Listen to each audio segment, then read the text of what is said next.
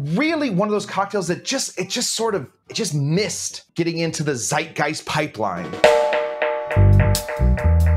The one we are doing today is called the Bronx. Now, I know nothing about New York. I do, however, know a lot about the cocktails from New York. So, first ingredient we're gonna be putting in an American dry gin. Which American dry gin? Hartman's.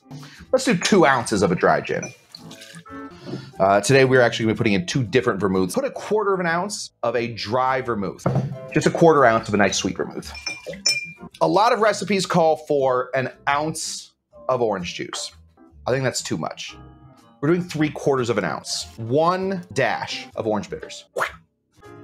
Plus a little bit more. It's called a tiki dash, and it's a, the newest thing. And there we go. Yeah. This cocktail is so underrated